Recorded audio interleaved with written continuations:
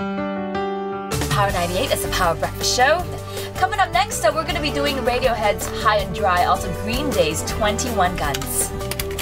I love talking to people and I love um, just voicing what I feel, so it's been great.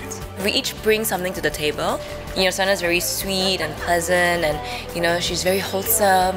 Hubert's uh, like the older, wiser person. Putting in the fake Italian accent. Here we go. Solo, have one. Why don't ya? I am uh, a young mom who's very vocal about issues, so uh, we have a lot of fun.